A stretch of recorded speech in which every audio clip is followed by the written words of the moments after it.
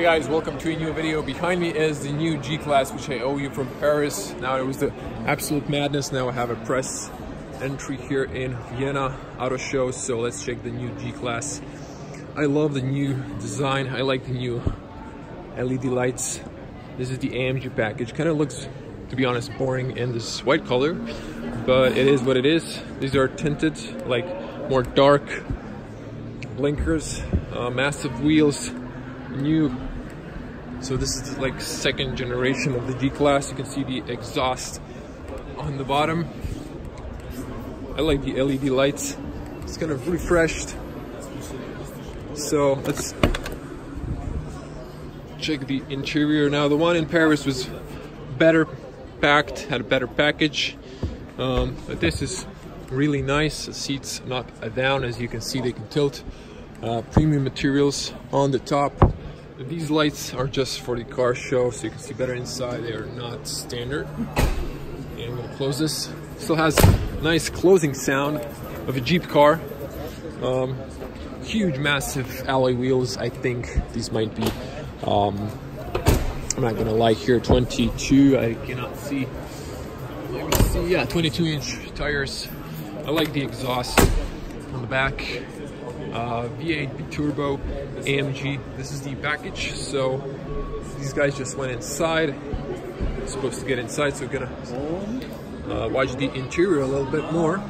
You have 360 parking cameras, um, diffuser, real air intake. So nice. Okay, so we can get inside now. Still that closing sound that you like in the G-Class. Um, I like this leather, it looks so premium. You're like in a bus, so on the top you're there mirror controls, your windows controls. Now, yeah, piano black finish is kind of lame. You should go with a red carbon fiber. I like that. Um, premium speakers, the best in the car industry. AMG, the seats are nice. They are sculpted. As you can see inside, everything is premium. And let's jump in the top. Even I have to jump a little bit. Um, nice closing sound. Okay, obviously did not close the door properly. And beautiful steering wheel. AMG, I love this one with this piano wood. You still have leather here, so it's kind of tilted on this, I mean, um, shrink on the sides. There, I don't know if you can see here. Beautiful uh, digital cockpit with lots of functionalities here. Um, uh, when you turn on the car, let me turn on the uh, middle screen. I have AMG here. gonna mute that sound. Lower the volume all the way. Um, let it turn on. Beautiful AC vents. You have here driving modes. Uh, menu for the infotainment. This is the huge infotainment. Of course, you, have to still this manual, excuse me, this system with a wheel. Um, a lot of features. I'm not going to go into details just to show you one of the menus, classical Mercedes. And this is it. Armrest, huge storage area, little lightened area here, SD cards, uh, two USB chargers, cup holders, uh, wireless key place to place your key. You have here presets. You have beautiful watch. Of course, you have here for the menu, I guess, um, car is in some sort of safe mode. And of course, you have valves so you can open them.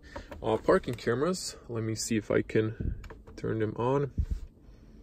I guess no, the screen is kind of frozen, and I believe the car needs to be uh, on. So low range of suspension, you can probably lift the air suspension. Um, driving modes, I guess dynamic. Um, yeah, okay, so not gonna go into details. Probably never gonna see this in Croatia. Other people are waiting. A huge speaker on the top, really nice, and should wrap it up here. Uh, lights, panel roof, uh, spacious on the back. Let's check the back and just to show you, have quarters here, really nice, and I like this. This is firm. So both sides have electronic operated seats and heating.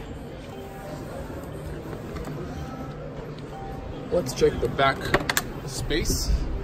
Tinted windows on the back, same premium materials on the back, heated seats as well. Let's jump in.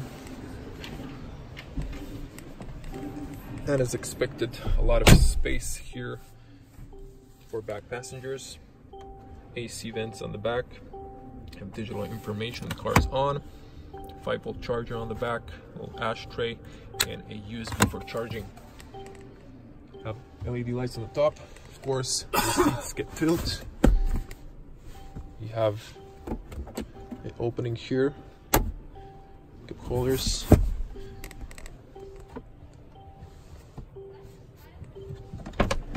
That's pretty much it, guys. I don't need to mention this car is super spacious.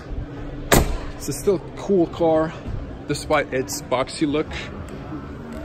Tell me what you think in the comments below. Like this video, helps me a lot.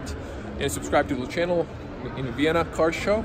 So subscribe, watch other videos. There's a lot of other cars going to see and stay safe on the road. I'm going to see you in the next video. Bye.